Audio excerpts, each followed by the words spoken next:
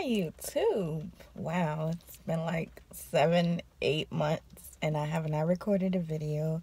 And I feel awfully bad about that. This is going to be short and sweet and straight to the point. I do plan on coming back to this channel. I just don't know in what capacity um, there is even for me to come back to this channel. I mean, so much has gone on in life. And if you don't follow me on other forms of social media, you have no idea about them.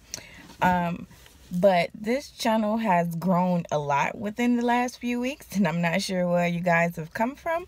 But hello there.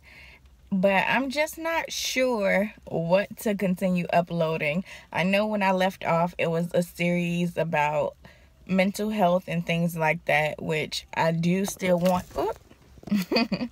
I do still want to continue and finish. I just don't know like what other topics you guys would be interested in. So like I said, this video is short. So if you have any video suggestions or things you want me to talk about, leave them down in the comment section so I can have some ideas. I do want to get back into filming. I do miss coming on camera and things like that. Um, probably my next video, I will post an update on what's been happening within the last seven months or so.